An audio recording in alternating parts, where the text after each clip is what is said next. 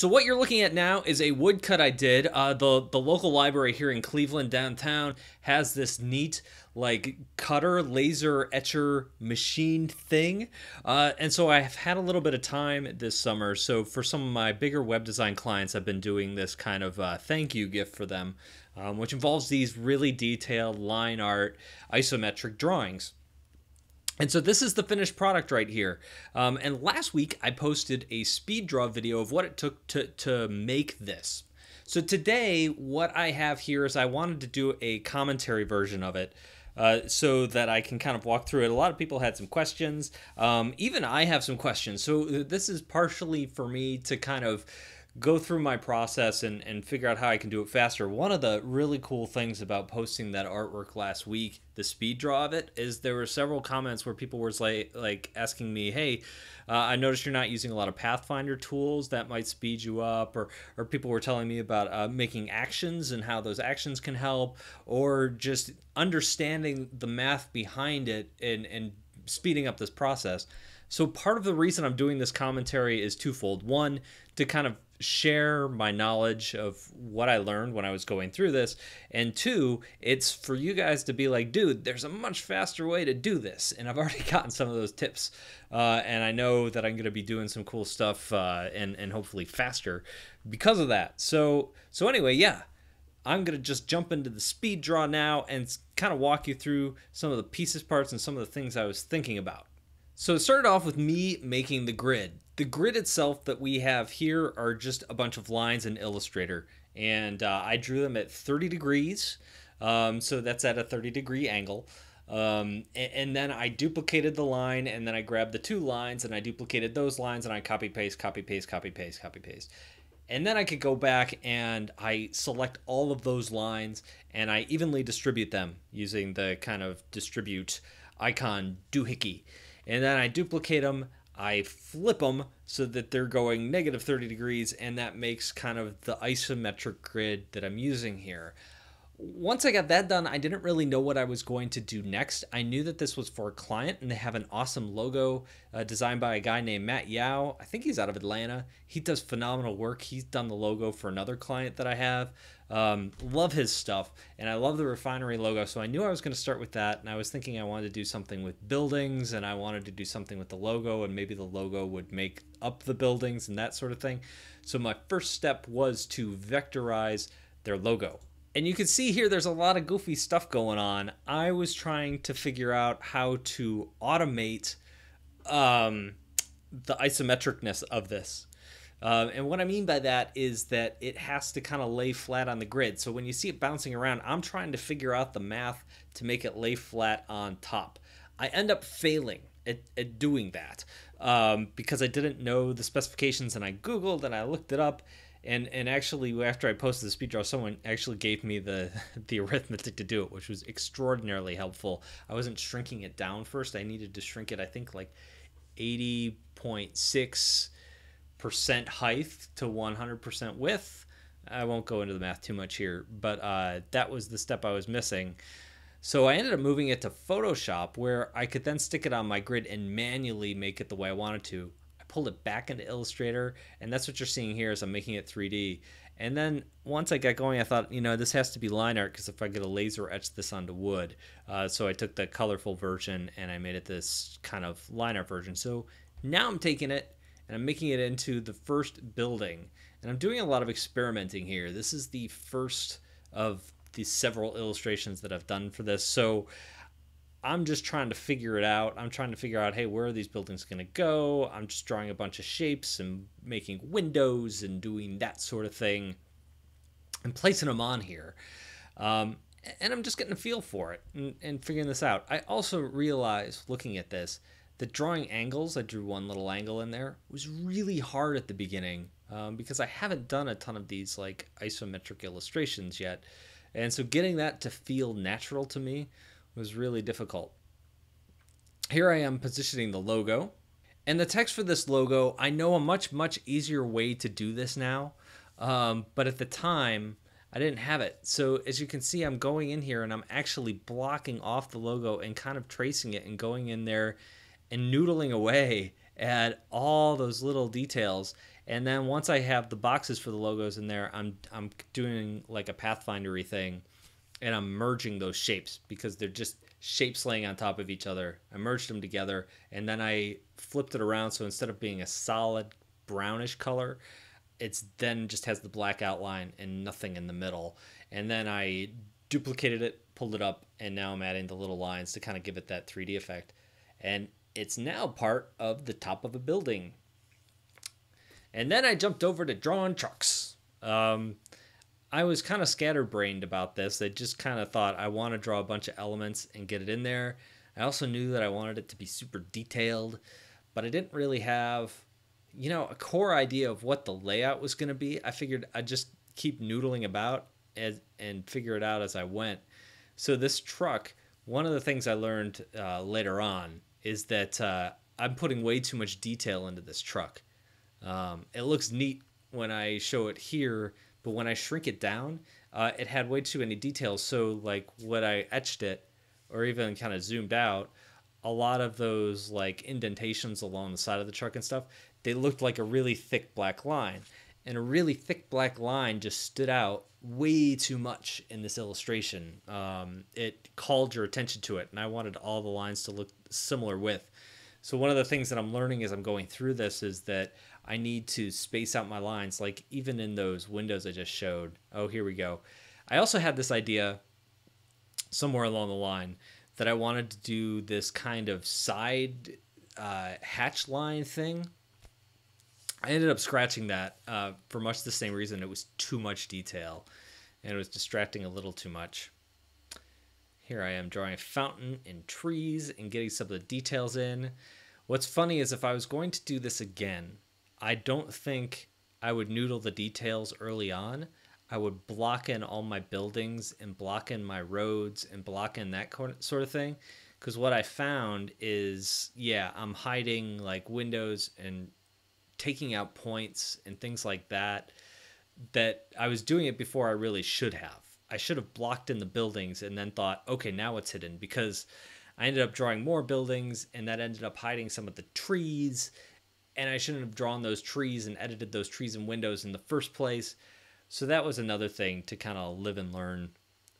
Now making icons. They're a web design company and I do a lot of contracting for them. Um, so I do some like UX and UI design. I work with software teams. I really like working with software developers. And so that's what these guys do. They they build software. They do some some good graphic design type stuff too. So I wanted to kind of capture some of that like webby sort of thing. And so for like the Twitter and the Facebook icons, I just I just pulled those off the web and made them line art.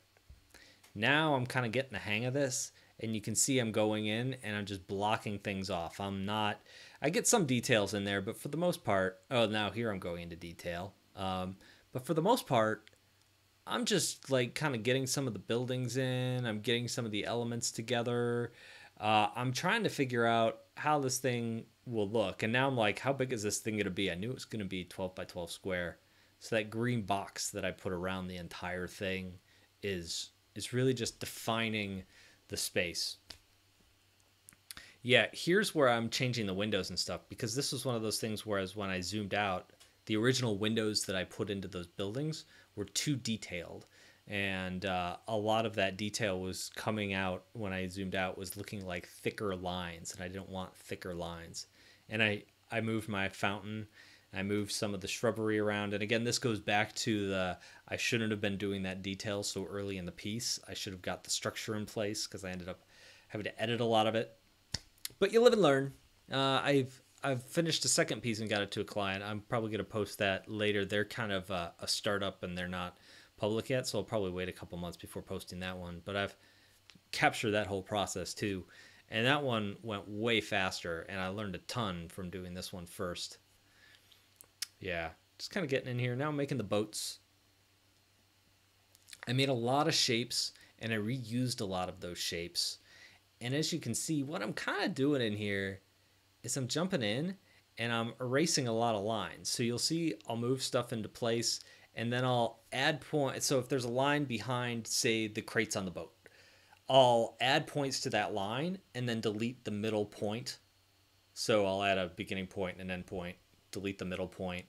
And that's kind of how I did this whole thing. I didn't use the Pathfinder much because the Pathfinder is really good for solid shapes, and my shapes were transparent. Uh, I didn't have, I wasn't using big blocks. Um, I'm kind of curious because I was talking to a guy in the comments last week about that, and he had some good pointers, and and and I went and looked up some tutorials on how to do that. So I might try the Pathfinder thing a little more. I've used it for some stuff. What the Pathfinder does is it lets you say you have um, two solid objects that overlap. You can use the top one to cut into the bottom one, or you can combine them into one shape. That's what that's what the Pathfinder and Illustrator does. Here I am making more buildings, smokestacks, duplicate a boat. It feels really good to draw a great boat and then just copy paste it and flip it. Because that's like instant speed. This I remember being kind of, I was trying to make a crane.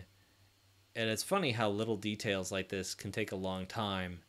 And then other details, like just, hey, I'm going to put a bunch of crates in here. I've just flipped those out in no time at all. I ended up duplicating a building a lot, like the building that's kind of in the top middle, and then the one I just showed. It's hard to see because I'm zoomed in. They're the same building, and I ended up moving the same building down below because looking at it at different angles, you can't really tell that it's uh, that it's the same exact building. And there's so many details, you know, you don't need it. I also added grass. Now I'm in the fiddle phase, adding a lot of grass, making smokestacks higher uh, design and development company, so I'm adding that to the smokestacks. Here's the crane. Um, this was kind of fun. This was fiddly too, where I'm using block shapes. You probably saw those colored shapes there. I used those as spacers because I wanted it to be consistent as I went up. I wanted the spacing between kind of those angled things in the crane to be equidistant. So I made a shape as kind of like a guide and then I deleted them.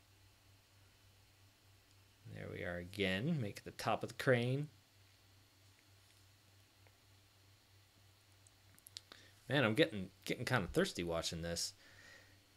Yeah, and, and, this is all basic shapes, and and someone told me that this takes a lot of skill, and I I almost disagree. I think this takes a lot of patience, but but the skill is kind of like once you get the basics down, this type of thing is just a matter of being excruciatingly patient and being able to point and delete and and add lines and things like that. Another question somebody asked me as I was uh, showing this last week was what tablet did I use to put it together, and I didn't use any tablets at all. Um, Illustrator is I'm at my most efficient anyway in Illustrator when I'm just using the mouse and the keyboard. I use a ton of keyboard shortcuts. I'm always like holding down the uh, I think it's the option button to duplicate. Uh, it's shift button to move things on a straight line. And this this particular drawing had a lot of me moving stuff around on a straight line, so it's holding the shift button. I was copying and pasting a ton. Um, the keyboard was my best friend on this. You know, um, I didn't use a lot of snapping to the grid. Uh, I just kind of was using my eyes to figure it out where everything needed to go yeah, now I'm duplicating trucks, duplicating this building again using the same windows. Yeah, now I'm making like this little square area. This was the hardest part of the whole thing. They used to have, before they got their cool logo, they used to have this uh, little walking dude. And um, they called him Big Boy because he looked kind of like the Bob's Big Boy guy. And so I found that and I tried to create him in 3D and after kind of doing this stuff isometrically and using math this whole time, and all of a sudden having to kind of free draw this little statue character, that was hard. That was really hard. Uh, but it all came together. This is the fun part because now I'm just adding a bunch of cars, and this goes quick. Is like pop, pop, pop, pop, pop. Just keep duplicating cars and adding them in here. And then I made a second layer underneath the cars. I duplicated the cars and I made them all white. Actually, I can go through there. Yeah, I made the background of the cars white, and you can see me. I'm using blue so I can see it. But there's a white layer underneath the cars, so that way I don't have to go and delete where the cars overlap in the buildings. I can just go. I just have that white layer behind the cars, so that saved me a ton of time too. Um, so that was kind of fun. I'm doing the same exact thing with the trees as I did the Pathfinder tool, broke them all down, did it that way. And so this is a finished illustration. There is a ton of detail in here. Um, and it was fun. I, I'm really, really excruciatingly happy with how the woodcut turned out and how all this stuff came together.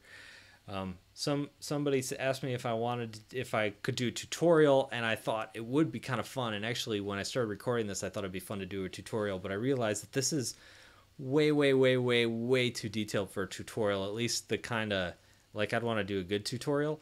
So I might put together like an isometric 101 tutorial some point down the road and throw it on Udemy or something, which would be fun. But it's gonna be a lot, lot simpler than this because going through how I made this like I would have to. It would take hours and hours and hours. Um, it would take a lot of work just to put that together. So that's the illustration. Hopefully, this commentary answered some questions. Um, and hopefully, I covered some of the questions you guys had in your comments last week. I had a blast doing this. Probably sometime next month or the month after, I'm going to have another one of these to post. Um, I love doing vector stuff, so I'm going to have more in the future and I'll talk to you guys later.